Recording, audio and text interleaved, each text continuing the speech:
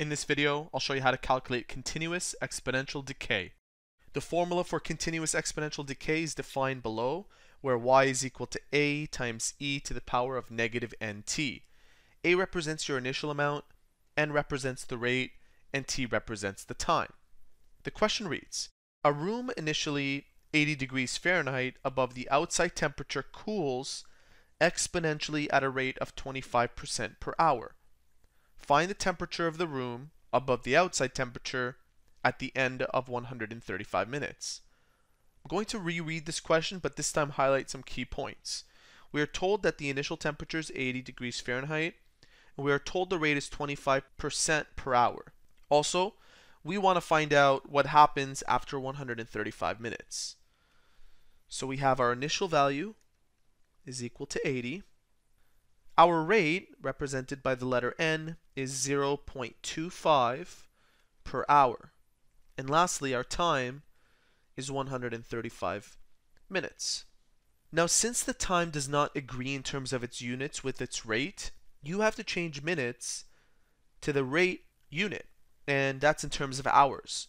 So 135 minutes to hours, you use the conversion ratio, obviously 60 minutes per every hour or one hour per every 60 minutes. And what this will do, if we multiply 135 by this conversion ratio, the minutes will cancel out, giving us precisely how many hours that is. Using our calculator, 135 times 1, which is 135, divided by 60 gives us 9 over 4, or exactly 2 and a quarter hours. Let's plug in this information into the formula. We have y is equal to 80 times e, Euler's number, to the power of negative 0.25, that's our rate, times t of 2.25. Now we can use our calculator to evaluate this. So 80 times, and to access the number e, you need to click alpha in this button to the power of negative 0.25 and just be aware that in every calculator it's different. So for me it was alpha in this button. For you might be something else. 2.25 gives us 45.58 45.58 and the units for this number will be degrees Fahrenheit. So let's discuss what's happening here a room initially is 80 degrees Fahrenheit. So if we look at this on an x and y plot, where our x-axis represents the time and the y-axis represents the temperature,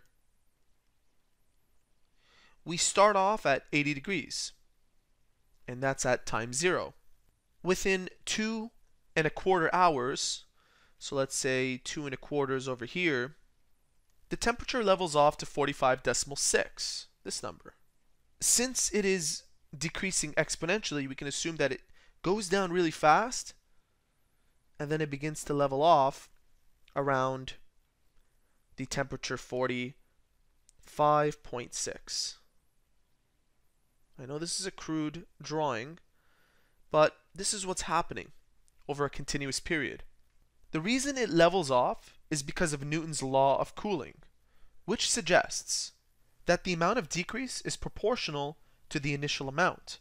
For example, hot steel cools quickly, whereas cool steel cools slowly. And there you have it. That is how to calculate continuous exponential decay.